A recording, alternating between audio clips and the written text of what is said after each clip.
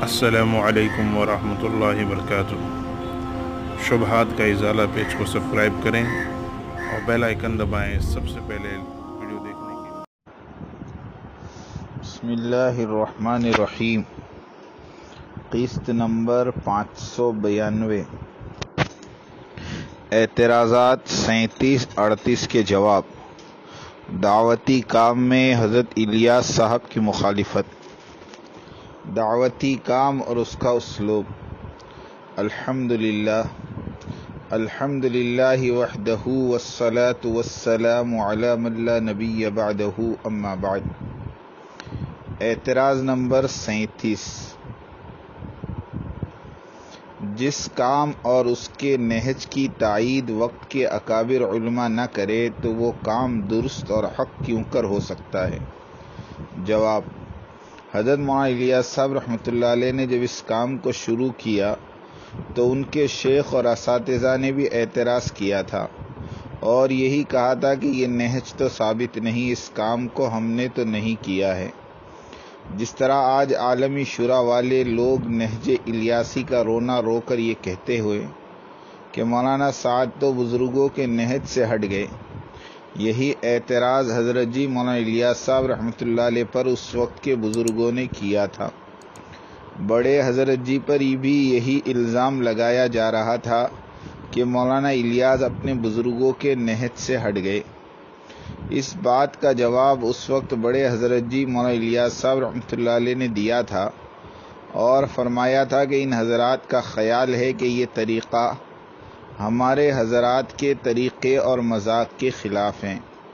لیکن میرا کہنا یہ ہے کہ جس چیز کا دین کے لیے نافع اور نہایت مفید ہونا دلائل اور تجربے سے معلوم ہو گیا، اس کو صرف اس لیے اختیار نہ کرنا کہ ہمارے شیخ نے یہ نہیں کیا بڑی غلطی ہے۔ شیخ شیخ ہی تو ہے، خدا تو نہیں ہے۔ ملفوظات مولانا الیاس صاحب رحمۃ اللہ علیہ۔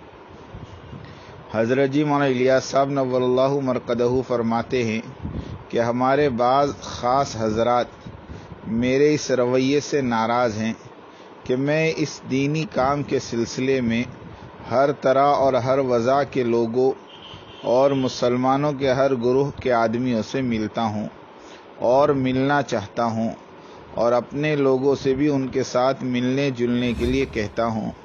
لیکن میں اپنے ان حضرات کی ناراضگی کو سہنا اور ان کو معذور قرار دیتے ہوئے ان کو بھی اسی طرف لانے کی پوری سعی کرتے رہنا۔ شکر واجب کا ایک جز سمجھتا ہوں۔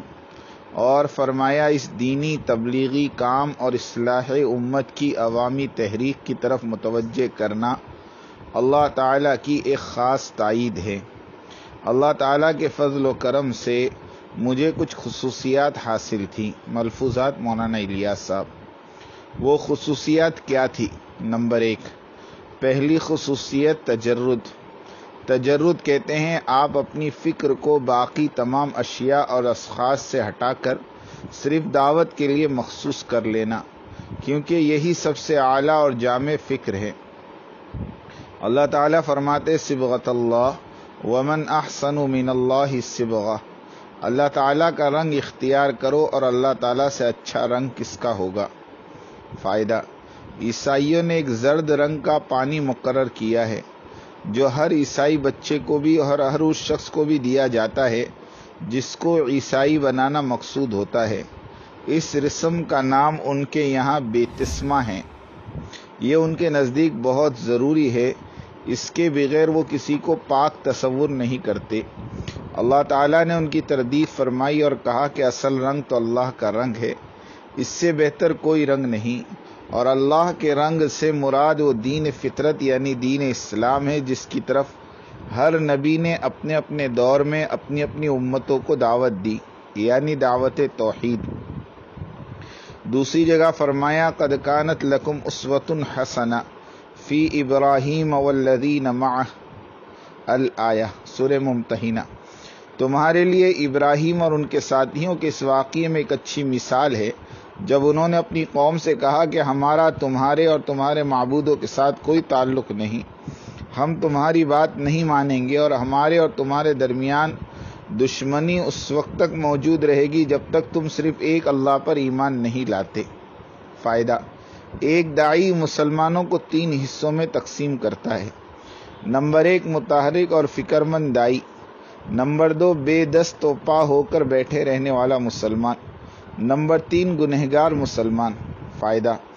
اسلامی عدالت میں ان میں سے ہر ایک کے لیے علیحدہ علیحدہ حکم ہیں ان اقسام کے لیے مقرر کردہ حدود کے اندر رہتے ہوئے ہی اشخاص اور جماعتوں کو پرکھا جا سکتا ہے اور ان کے ساتھ دوستی اور تعلقات پیدا کیے جا سکتے ہیں۔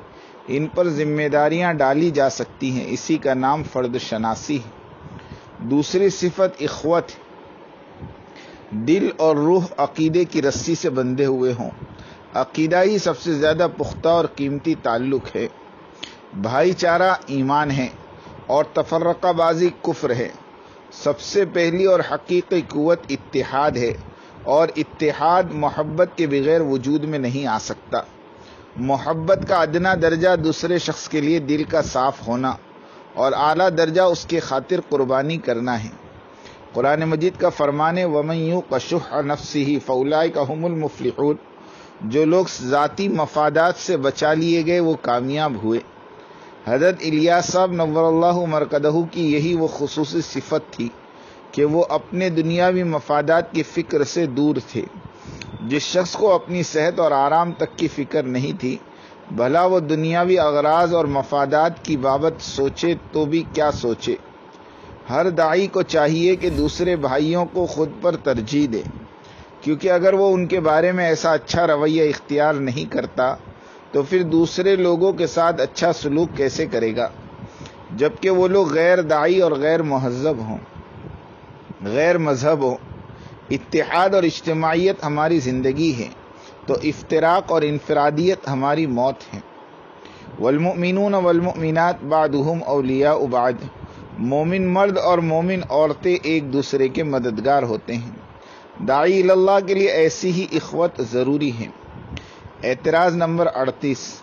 مولانا سعد صاحب کہتے ہیں کہ نماز پڑھتے وقت کیمرے والا فون ساتھ رکھنا منع ہے۔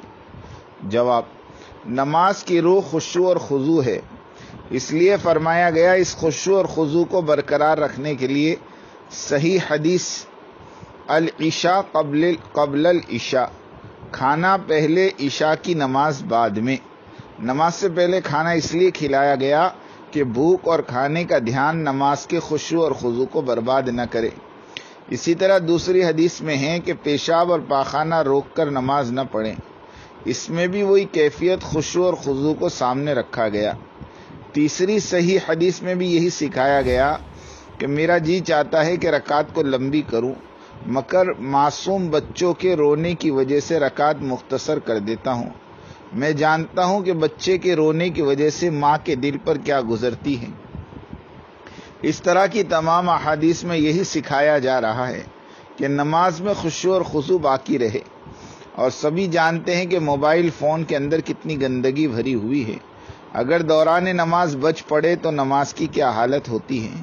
اس لیے تجرباتی طور پر یہ کہا جا رہا کہ اپنی نمازوں کو قیمتی بنانے کے لیے بوقت ادائیگی نماز موبائل فون کو دور رکھیں۔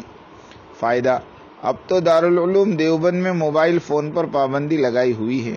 اس لیے کہ طلبہ کا تعلیمی نقصان ہوتا ہے اور نماز تو تعلیم سے ہزاروں گنا زیادہ نازک اور قائم فریضہ ہے۔ اگر اس سے دور رہنے کے لیے کہا گیا تو اس میں خرابی کیا ہے؟ اور کون سا دین اور اسلامی مسائل کے خلاف؟ تعلیم و تبلیغ دونوں کاموں کے ذمہ دار علماء کرام ہیں۔ بلغو انی ولو آیا، ایک آیت بھی جانتے ہو تو تبلیغ کر ڈالو۔ آیت کی شناخت عامی کو نہیں بلکہ عالم کو ہوتی ہے۔ تو اس حدیث مبارکہ کا مخاطب عالم ہوا نہ کہ جاہل۔ جاہل اگر تبلیغ کر لے تو یہ اس کا احسان عظیم ہے کہ یہ بیچارہ غیر مکلف ہوتے ہوئے بھی مکلف لوگوں کا بوجھ اٹھایا پھرتا ہے۔ تعلیم و تبلیغ دونوں کاموں کے ذمہ دار علماء کرام ہیں۔ علوم شرعیہ کا علم حاصل کرنے کی غرض ہی ہے بے طلب عوام میں دین کی طلب پیدا کرنے کا کاروبار کرنا ہے۔ اس کاروبار کا منافع منافع بھی بیان کر دیا گیا۔ کہ جس نے کسی کو خیر کی راہ دکھا دی تو اسے بھی وہی اجر جو کرنے والے کو میسر ہوگا۔ فائدہ، راہ تو جانکار ہی دکھا سکتا ہے، انجان آدمی نہیں۔ اسی لیے علماء امت کو بنی اسرائیل کے انبیاء علیہ السلام سے تشبیح دی ہے۔ انبیاء علیہ السلام کا نوے فیصدی کام تو دعوت اللہ ہی ہوتا ہے اور دس فیصدی کام تعلیم و تعلم اور تزکیہ۔ علماء کرام کی محنت کا دائرے کار بھی انبیاء بنی اسرائیل ہی کی طرح کا ہونا چاہیے تھا۔ کاش ہر عالم دین انبیاء بنی اسرائیل کی طرح زندگی گزارنے پر آ جائے، تو دنیا کا کوئی فرد بھی غیر اسلامی زندگی گزارنے پر آمادہ نہ ہو۔ فائدہ، کسان ہل جوتنے کو آر سمجھے گا تو رعایا فاقوں کی بھینٹ چڑھ جائے گی۔ اسی طرح دائی یعنی علماء دعوتی کام کو بوجھ سمجھنے لگیں گے۔ تو عوام بے دینی اور الحادی نظریات میں مبتلا ہو جائے گی۔ تمبی آج مسلمان نظریاتی طور پر الحاد میں پڑ چکا ہے۔ قبر، حشر، دوزخ، جنت، میزان اور حساب پر وہ یقین نہیں رہا جو اسے منیحات اور مقروحات سے روک دے۔ فائدہ، سب چیزوں پر ایمان لانا کافی ہے مگر آخرت پر ایمان کافی نہیں۔ آخرت تو ایمان سے بھی آگے بڑھ کر یقین کامل کا مطالبہ کرتی ہے۔ وبالآخرت ہم یوقینون وہ ایمان والے آخرت پر یقین رکھتے ہیں۔ وبالآخرت ہم یؤمنون نہیں فرمایا۔ ہم یوقینون فرمایا۔ آدمی جانتا ہے اور ایمان کے درجے میں جانتا مانتا ہے کہ دکان فلاں جگہ اور فلاں گلی میں ہے۔ لیکن جب تک اسے دکان کے کھلے رہنے کا یقین نہیں ہو، اس وقت تک اس کے پیر دکان کی طرف نہیں بڑھیں گے۔ آخرت سے متعلق ایسا ہی یقین مطلوب ہے۔ اسی یقین کی وجہ سے انسان خیر پر چلے گا، بدی سے رکے گا۔ اور اسی یقین کو حاصل کرنے کے لیے انبیاء والی دعوت و تبلیغ کی یہ محنت ہے۔ حضرت الیاس صاحب نور اللہ مرکدہ نے اس محنت کو تحریک ایمان کا نام دیا۔ رائے مرکز میں مار دھاڑ۔ مرکز رائے سے غیر متعلقہ ایسے حضرات جو نہ تو قدیم شورا میں شامل ہے اور نہ ہی ٹرسٹی اور منتظمین شمار ہوتے ہیں۔ انہوں نے گنڈا گردی کے ذریعے سارے مرکز اور اس کی شورا پر جابرانہ اور غاصبانہ قبضہ دس بارہ سال سے جمائے ہوئے ہیں۔ اور اس قبضہ مافیا نے اپنا سپریم شورا نام رکھا ہوا تھا اور اس کی آڑ میں کھربوں روپے عوام کا بٹورا اور مزاربے کے نام سے یہ لوگ حکومت کو بھی درکار ہیں۔ ان بد کردار لوگوں نے مرکز رائے کی نیک نامی کو بدنام کیا ہوا تھا۔ چند لوگوں نے انہیں ان برے کاموں سے منع کیا تو انہوں نے اپنے گنڈوں سے انہیں بہت پٹوایا۔ بالآخر اللہ نے مظلوم ساتھیوں کی مدد فرمائی۔ ان بد کردار لوگوں کو حکومت نے دبوچ لیا۔ اب ان پر کیس چلے گا اور مرکز رائے اس وقت پاک صاف ہو گیا۔ قدیم شورا نے سارا کام سنبھال لیا ہوا ہے، الحمدللہ۔ اللہ تعالیٰ میواتی بھائیوں کی جزائے خیر عطا فرمائے اور ان کی حفاظت فرمائے۔ انہوں نے اپنی جان پر کھیل کر مرکز رائے کے وقار کو بحال کیا۔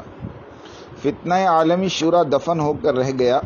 انشاءاللہ ان قریب مشوروں میں عالمی مرکز کے حضرات بھی تشریف لے جایا کریں گے اور حکومت خود ان کا استقبال کرے گی انشاءاللہ۔ اللہ تعالی ہمیں قبول فرمائے، آمین۔ وآخر دعوانا ان الحمد للہ رب العالمین۔